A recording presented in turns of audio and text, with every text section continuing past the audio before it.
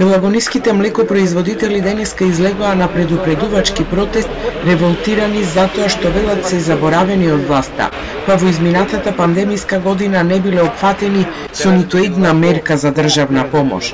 Велат водат битка за обстанок затоа што откупната цена на млекото со години е иста, а трошоците постојано растат. Се пожалија дека во вакви услови веќе никој не сака да се занимава со сточарство, па сточниот фонд е намален за 60%.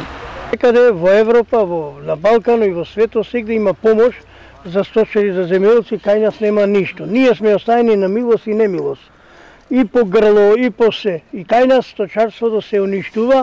Нашите производи останува на иста цена, а другите производи што треба да ги купиме се поскапва нагло. Едно вреќе ѓубриво беше 650 денари, сега е 1000 Едно кило соја беше 25 денари, сега е 40.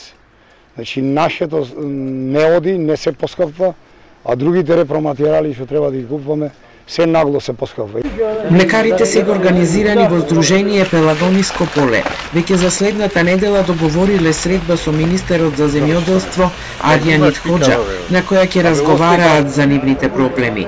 Покрај државна помош, бараат да им се врати данокот од доход кој на крајот од календарската година го добиваат земјоделците што не надминале 1 милион денари од продажба на собствените земјоделски производи и да им се исплатат ланските субвенции тој лани ни го вратија тој данок, секој спрема осварениот приход до милион денари.